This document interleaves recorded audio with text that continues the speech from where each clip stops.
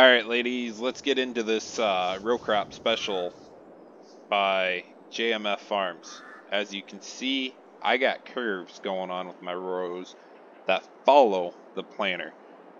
I'd like to say special thanks to JMF for helping me out and walking me through this. It is simple if you have modding background and know what your tools you're using and everything. And it is also pretty easy, I would say, for newcomers if you guys follow along in this video. At the end of this video, I will also show you how to make planters work for row crop ready.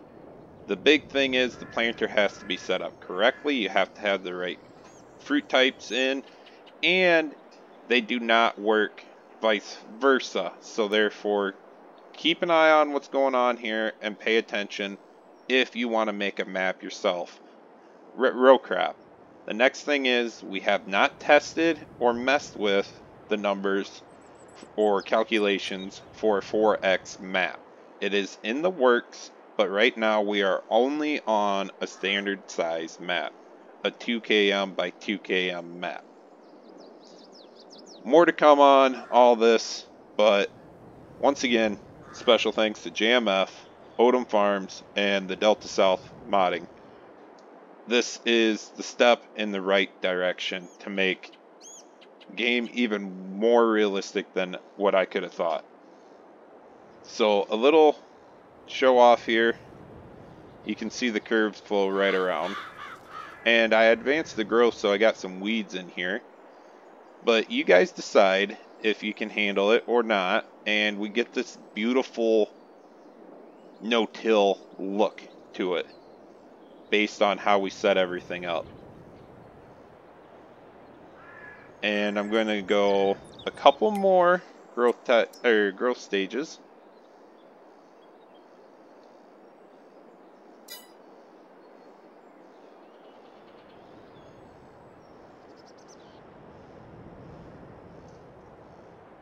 And I think this is one that's really noticeable just just imagine being in the combine coming around and following your end rows or around a waterway or trying to chop this. I mean if you're doing a pull type or or corn head style chopper you're going to have to follow the rows. You can't just cut right across them. Soybeans on the other hand we all know we go at an angle around them. But pay attention in the video and I will show you guys how to bring this into your map and you can add this to any planter you want. I'll show off this planter a little more later on in the video.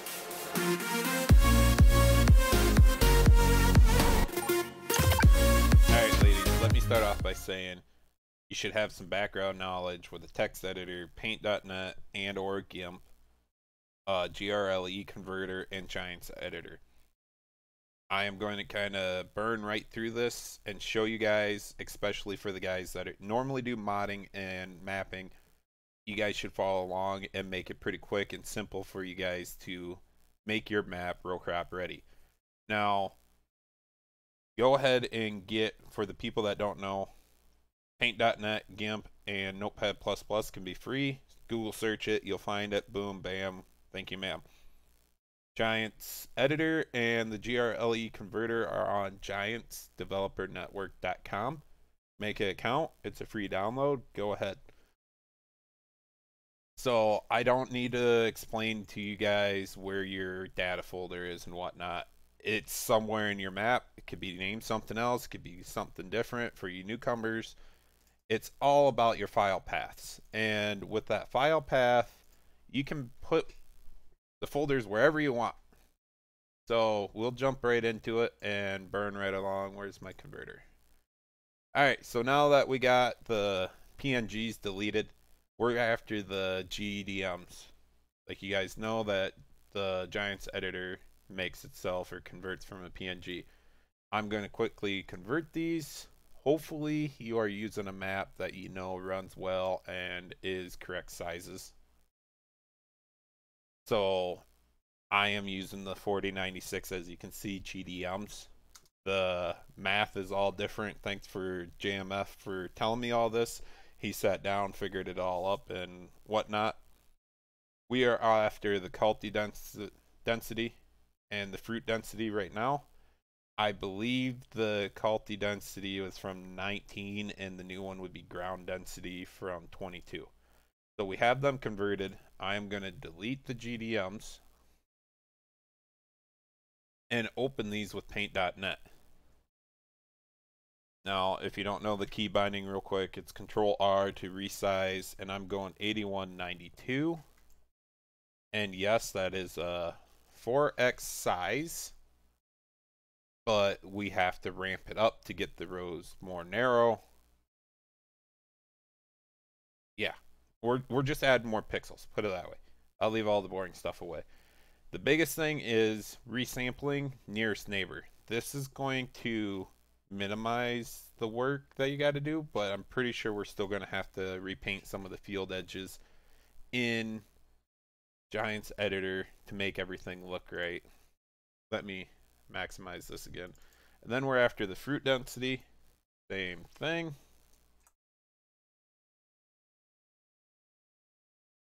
Nearest neighbor, perfect. Control S, perfect.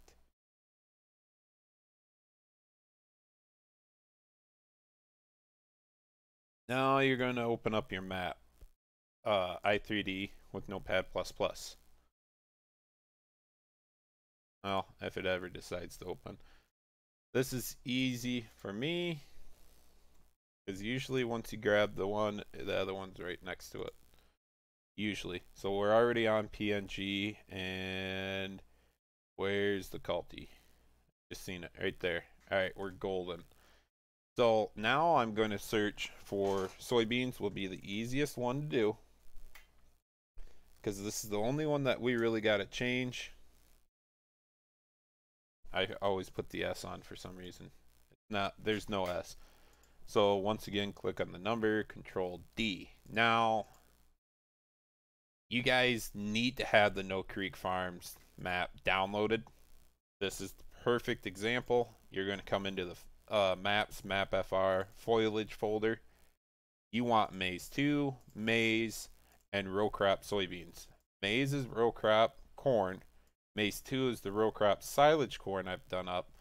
And row crop soybeans are obviously row crop soybeans. So you're going to copy those files and bring them over into your foliage folder, which I forgot to do on this version of it. And I am going to replace my corn and silage corn, or in other words, maize 2, already on here. Done. Now, this is where we get in here. And you guys got to be very careful about your spelling. And I did that wrong.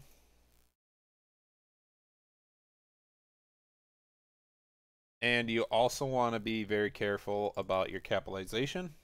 And we're going to be looking at these numbers a lot. So make sure you remember that. We're adding another crop type to the map since we already have maize in here for corn and my silage corn right here, we are good. The big one with this, we're at a limit with Giants on the game on how many crops we can have in here. We have 32 if you count weed and stone. So if you have 30 right here, you need to choose one that you want to overwrite. So I'm just going to choose sugarcane because I never play with it. I don't do it. Okay, fine. Once you have pasted the row crop soybean in, we want to keep an eye on your number. If you change and delete one of these lines, move anything in this without adding it to the bottom, it's just going to bump everything down on the color scale. And that will put canola, say, where wheat was, or vice versa. You got grass here and you throw the soybeans up here, it's going to put soybeans where the grass is.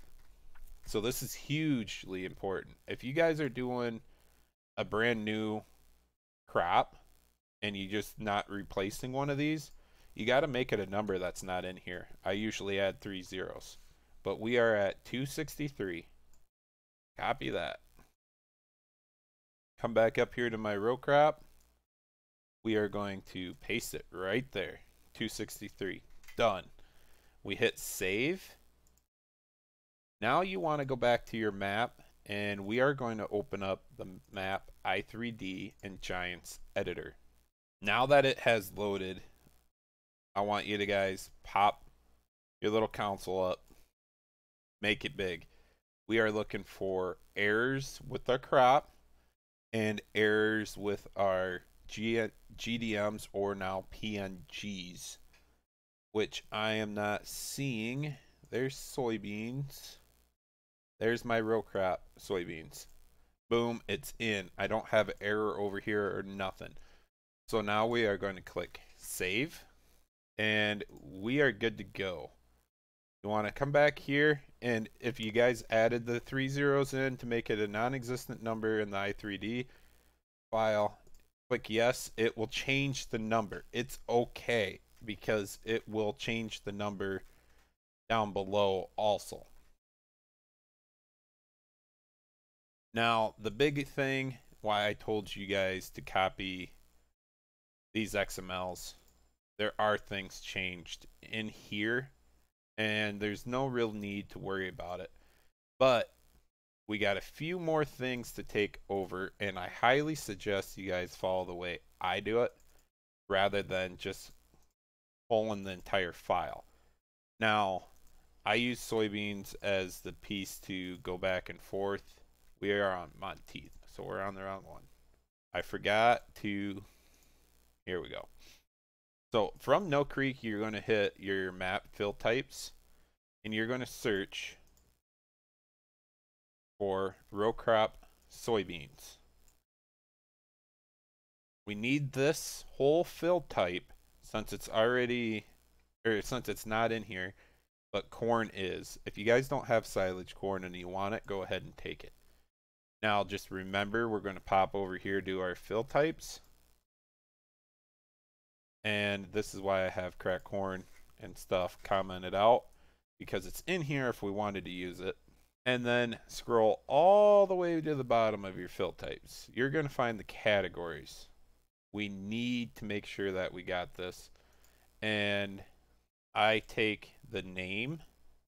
This is how the game reads it. This is what it shows in the game.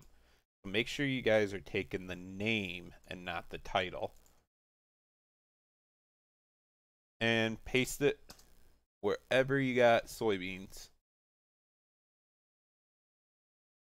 and that is usually why I keep that highlighted. So it'll highlight them all. And then I highly suggest another feature is to paste it down into your sounds so you get all the sounds with the combine and everything.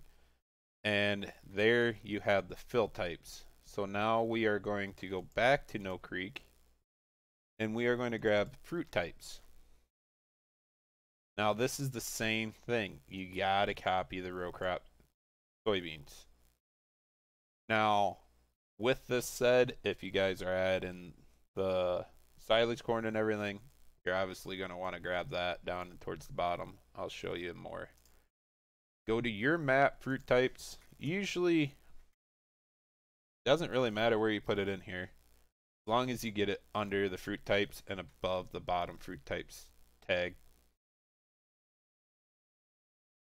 And then once again, you want the name, I forgot to grab.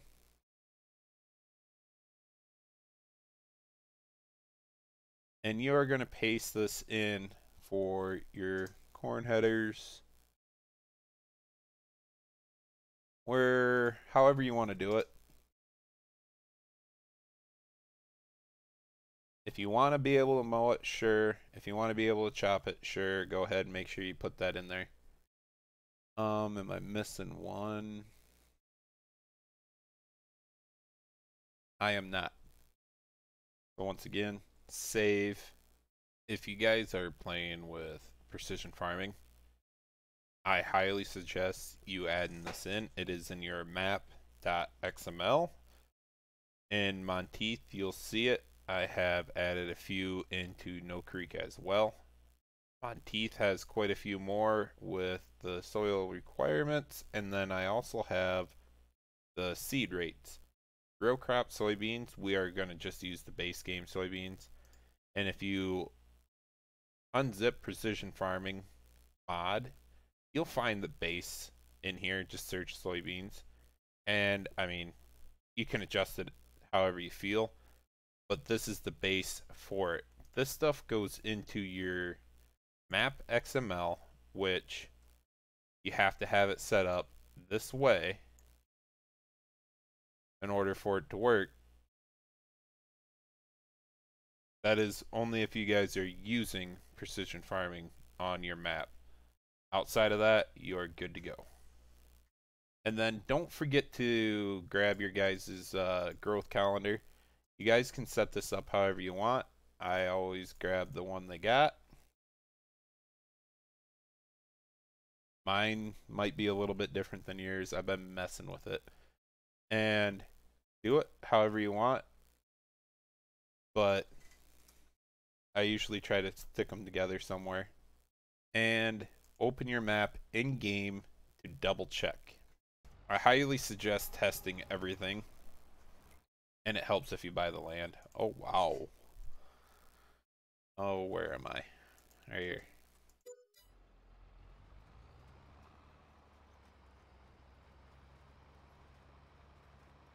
Planner's working good. Besides that one row unit. Two row units. I think I got the work areas a little too small. Biggest thing you're testing right now are the, curves. So make sure you turn. Don't just go straight, make sure you turn. Now, I am also going to do corn. That is one that we mess with.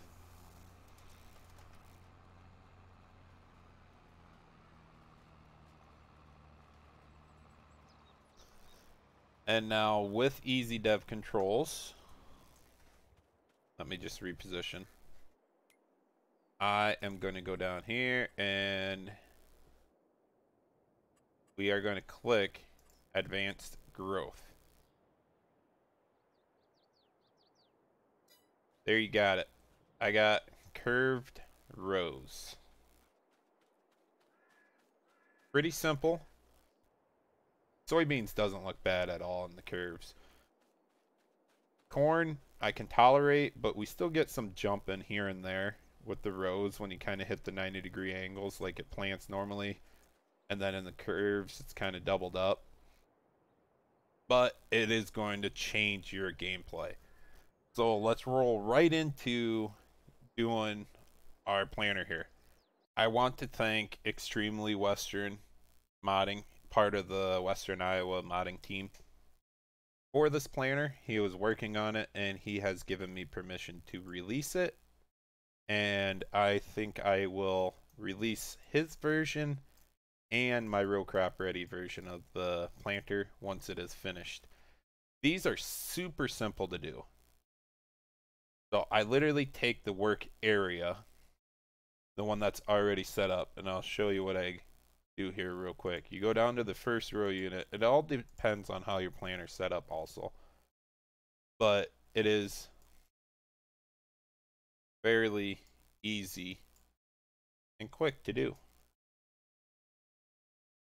I zero everything out in the parent transform group of the work area and then to start fresh, I just zero everything back out. And I'm going to put this right at the grid level is what I usually do. And then I'm going to go 0 0.003 is what I like to do. Let me make sure I went the right way. Which I did. And then for the width, once you zero it out, it'll show up on the screen. Bam, there she is. I forgot to move the wrong one. So I bring the work areas down to the grid. That's a little easier. My bad, ladies. My bad. So that way we just keep that all at zero. This one, I'm going to go negative 0.003 because we want it to move to the right. Now, I've been contemplating on going a bit farther, but we'll see. Now for the height node, you're going to want to bring it back away from the area start and width. So you're going to want a negative 0.1. Perfect. Ground reference node. I'm going to bring this back up. Depth node needs to be brought back up also.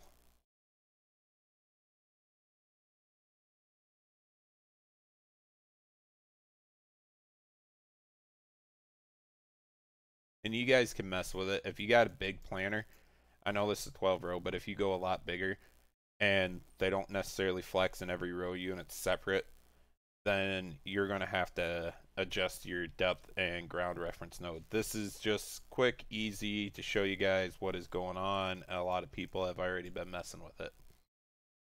The nice part about this planner is every row unit is already separated. So therefore, all I got to do is jump back up to my work area parent part. And I start from the bottom so I don't have to constantly scroll down. And then I go back to my transform group right where I put the first one and I just control C and control V. I did that one right. No, I didn't. Accidentally got two in there, so I'll delete that one. And now we are just going to save, but I like to leave my GE open. I gotta close this other one. And then we are going to go back to our planter file, open up our XML. Alright, once you find you guys' work areas, base is sewing machine, ridge marker, ridge marker, and these are our work areas. What we are after is this first one.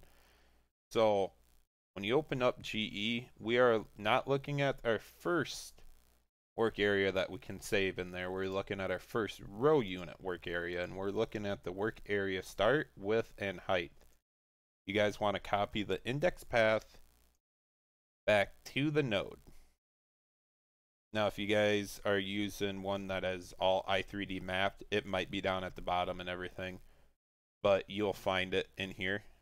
It is pretty easy to do, or you can do it just like I am.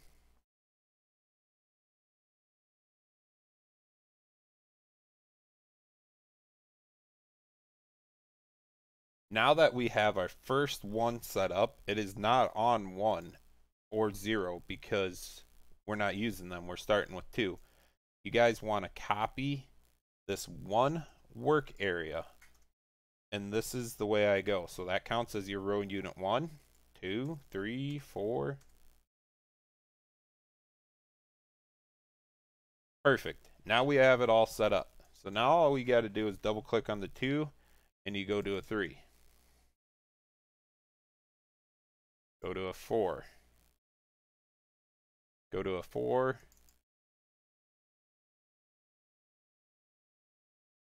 Five. And so on. You get down to the bottom one. Obviously, we are a little off. So I am correct with my nodes. And we are literally saving. Perfect. Go test in game. See if it works. Have fun, guys. Welcome to Row Crop Ready. And let's blow this thing up later on.